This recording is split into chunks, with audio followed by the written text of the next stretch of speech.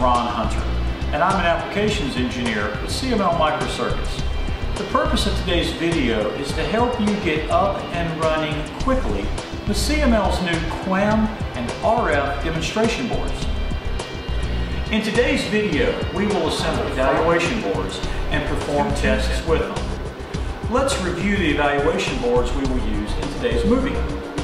The PE0002 is a USB connected PC interface card. This board acts as the host controller for the application. The PE0601-7163 is the evaluation board for CML's new QAM modem IC. The EV9980 is the evaluation board for the CMX998 Cartesian feedback loop IC. Since QAM is a linear modulation scheme, the ability of the CMX998 to linearize an RF power amplifier makes it a great fit to test with our QAM modem. The last board we will test is the EV9920B. This is the evaluation platform for the CMX992 RF quadrature demodulator. The first step is to assemble the boards, so let's do that now. Connect the PE0002 PC interface card to the PE0601 QAM modem board. Use the C-BUS 1 port of the PE0002 for the connection.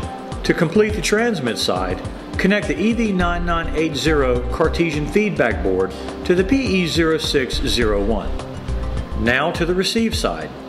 Connect the receiving PE0601 QAM board to the C-BUS 1 port of the PE0002 the EV9920B should be connected to the PE0601 board to complete the receive side. Now that the boards are connected, it's time to wire them up. Let's review the RF, baseband, and power connections for these boards. But don't turn anything on yet.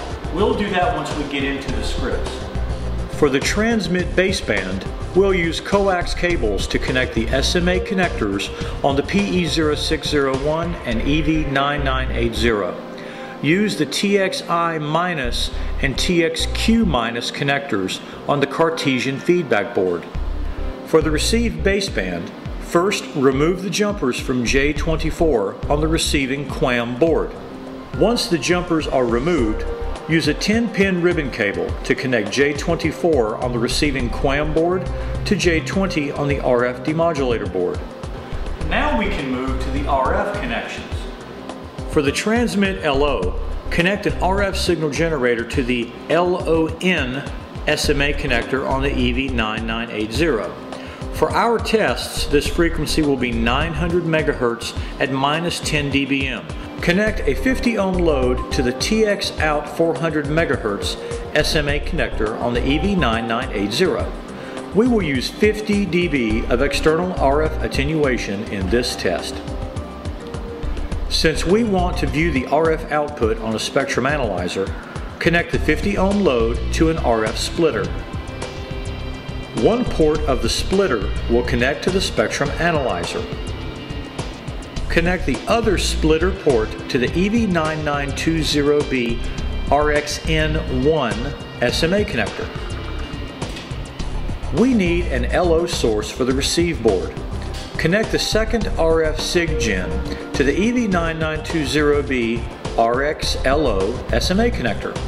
This SIG gen will be set to 990 MHz, but don't turn it on yet. The baseband and RF connections are done. So now we'll move to the power connections.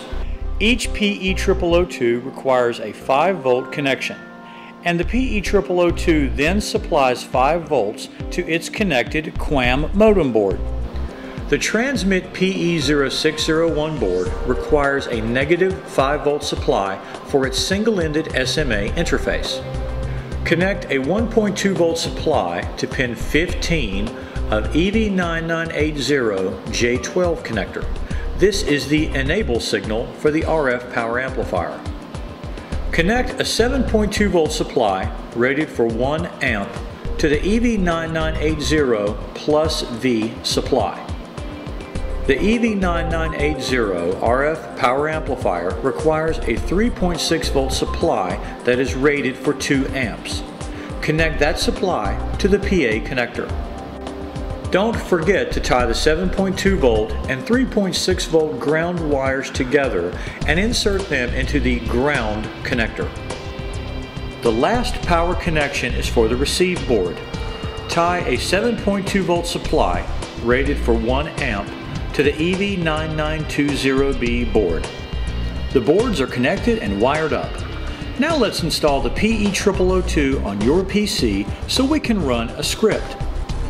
Visit the CML website and do a search for the PE0002. You will be taken to the PE0002 page and once there, download the PE0002 support package. Unzip the PE0002 support package. Connect your PC to the PE0002 with a USB cable.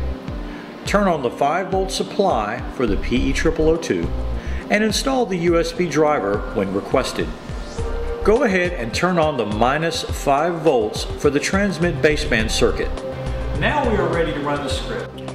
Launch the ES0002 executable file. We will refer to this as the transmitting PE0002 GUI. Select the Function Image Load tab in the GUI. Locate the latest CMX7163 function image file on your PC using the Browse button. If you don't already have this file, you will need to download it from the CML Technical Portal.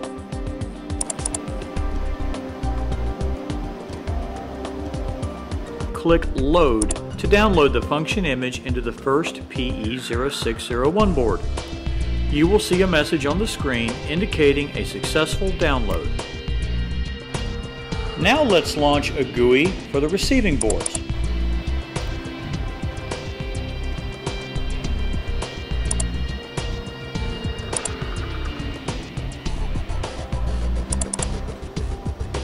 Go ahead and load the function image into this board as well. The first script that we will test today uses a transmitted pseudo-random bit stream. This script will let you see the CMX998 RF output in both open and closed loop modes. In the Transmit GUI, select the Script Handler tab, then click Select Script. Find the PRBS script file. The script walks you through the process of turning on power supplies and RF signal generators. The RF power amplifier current from the 3.6 volt supply will be zero when you turn on the supply.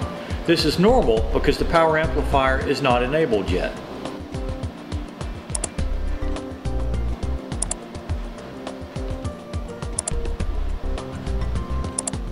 You should be able to achieve 20 to 30 dB of carrier suppression through adjustment of VR1 and VR2. The first spectrum you see results from CMX998 open loop operation. This is how the spectrum looks without the 998 in the circuit.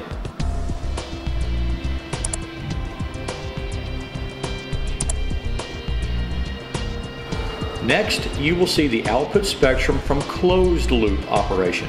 As you can see, the CMX998 provides outstanding linearization of this nonlinear RF power amplifier. When you are finished observing the RF spectra, click OK and follow the on-screen instructions. Now that we have connected the boards and ran a script, let's take a look at a data transfer test. This script results in data being passed from the transmit board to the receive board. Select the Receive GUI and click the Script Handler tab. Find the Receive Data script and click the Run button.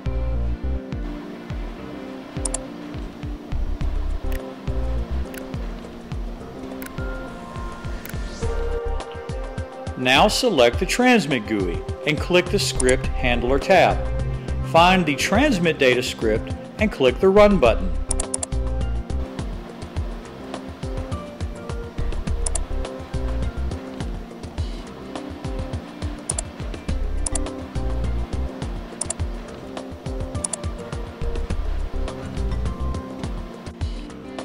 The Receive GUI indicates that the data was successfully received. So, in a very short time, we have demonstrated a QAM and RF data link complete with RF power amplifier linearization. This concludes our video. Please contact CML if you have any questions or if you would like more information about the products that you watched today. Thanks for watching and I hope you have a great day.